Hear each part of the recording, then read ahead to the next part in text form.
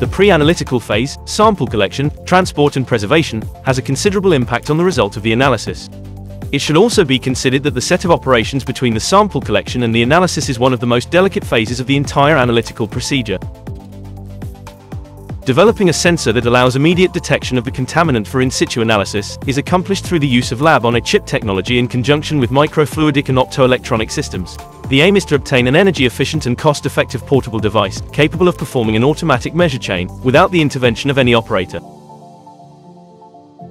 Various techniques are used for the detection of groundwater pollutant, such as UV-vis spectrophotometry which enables colorimetric quantitative analysis of metal concentration.